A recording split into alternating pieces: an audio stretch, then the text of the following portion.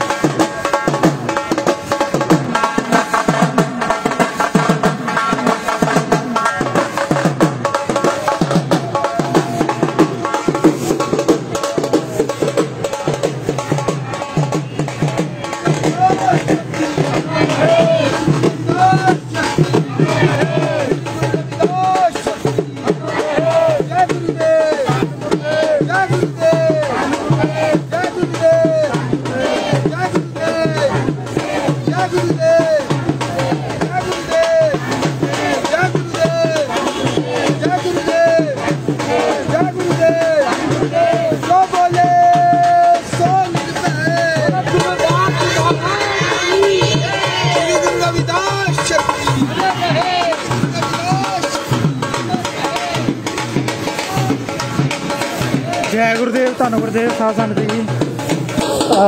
ਅੱਜ ਅੰਬਾਲੇ ਧੰਨ ਧੰਨ ਸਤਿਗੁਰੂ ਗ੍ਰੰਥ ਮਹਾਰਾਜ ਜੀ ਦੀ ਪਵਿੱਤਰ ਅੰਮ੍ਰਿਤ ਬਾਣੀ ਨੂੰ ਸੁਸ਼ੋਭਿਤ ਕਰਨ ਵਾਸਤੇ ਸੰਗਤਾਂ ਪੰਜਾਬ ਤੋਂ ਅੰਬਾਲੇ ਵਿਖੇ ਪਹੁੰਚੀਆਂ ਨੇ। ਸੋ ਸਤਿਗੁਰੂ ਦਾਸ ਮਹਾਰਾਜ ਦੇ ਗੁਰੂ ਘਰ ਸਤਿਗੁਰੂ ਦਾਸ ਮਹਾਰਾਜ ਦੀ ਪਵਿੱਤਰ ਅੰਮ੍ਰਿਤ ਬਾਣੀ ਨੂੰ ਸੁਸ਼ੋਭਿਤ ਕਰਨ ਵਾਸਤੇ ਜਾ ਰਹੇ ਆ ਸੋ ਵੀਡੀਓ ਨੂੰ ਸ਼ੇਅਰ ਜ਼ਰੂਰ ਕਰੋ ਜੀ। ਸੋ ਜੈ ਗੁਰਦੇਵ, ਧੰਨ ਗੁਰਦੇਵ।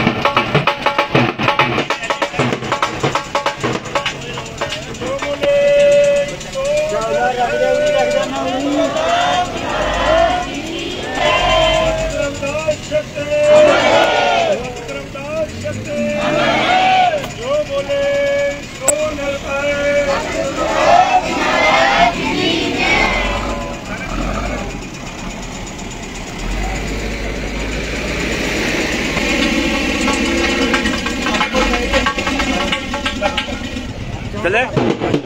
ਕਮਰ ਕਰ ਰਹੀ ਹੈ